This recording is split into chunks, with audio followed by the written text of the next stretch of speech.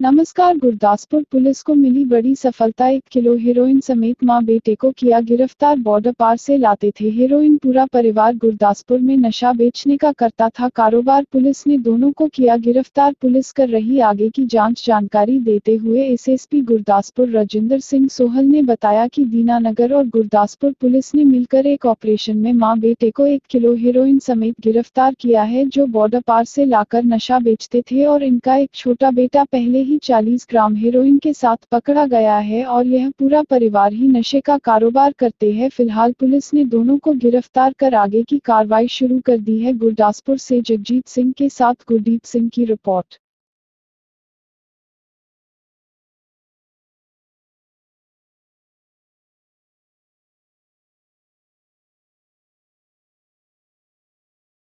मानजोग DGP Punjab ਦੀ ਰਹਿਨਮਾਈ ਹੇਠ ਜਿਹੜੀ ਨਸ਼ਿਆਂ ਦੇ ਖਿਲਾਫ ਤੇ ਜਿਹੜਾ ਪੰਜਾਬ ਸਰਕਾਰ ਦਾ ਮੈਨੂਫੈਸਟੋ ਵੀ ਸੀਗਾ ਕਿ ਨਸ਼ੇ ਪੰਜਾਬ ਚੋਂ ਖਤਮ ਕਰਨੇ, ਉਹਦੇ ਤਹਿਤ ਮੁਹਿੰਮ ਜਾਰੀ ਰੱਖਦੇ ਹੋਏ ਐਸਪੀਡੀ ਸਾਹਿਬ ਦੀ ਨਿਗਰਾਨੀ ਹੇਠ 1 ਕਿਲੋ ਹੈਰੋਇਨ ਜਿਹੜੀ ਬਰਾਮਦ ਕੀਤੀ ਹੈ ਦੀਨਾਨਗਰ ਏਰੀਆ ਚੋਂ ਤੇ ਇਹ ਬਾਰਡਰ ਪਾਰ ਤੋਂ ਜਿਹੜੀ ਹੈਗੀ ਆ ਸਮਗਲ ਹੋ ਕੇ ਆਈ ਹੈ।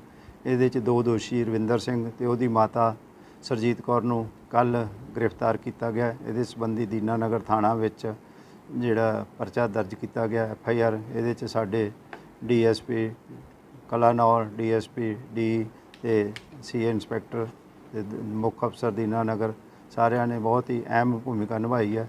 ਤੇ ਨਸ਼ਿਆਂ ਦੇ ਖਿਲਾਫ ਇਸੇ ਤਰ੍ਹਾਂ ਹੀ ਜਿਹੜੀ ਹੈਗੀ ਆ ਮੁਹਿੰਮ ਜਾਰੀ ਰਹੂਗੀ।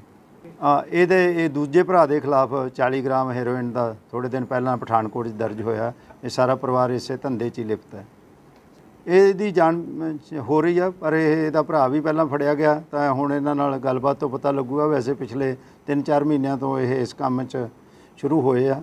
ਹੋਰ ਵੀ ਇਹਨਾਂ ਦੀਆਂ ਜਿਹੜੀਆਂ ਹੈਗੀਆਂ ਤਾਰਾਂ ਜੁੜੀਆਂ ਹੋਈਆਂ ਸਰਹੱਦ ਤੋਂ ਪਾਰ ਉਹ ਵੀ ਜ਼ਾਹਰ ਕੀਤੀਆਂ ਜਾਣਗੀਆਂ।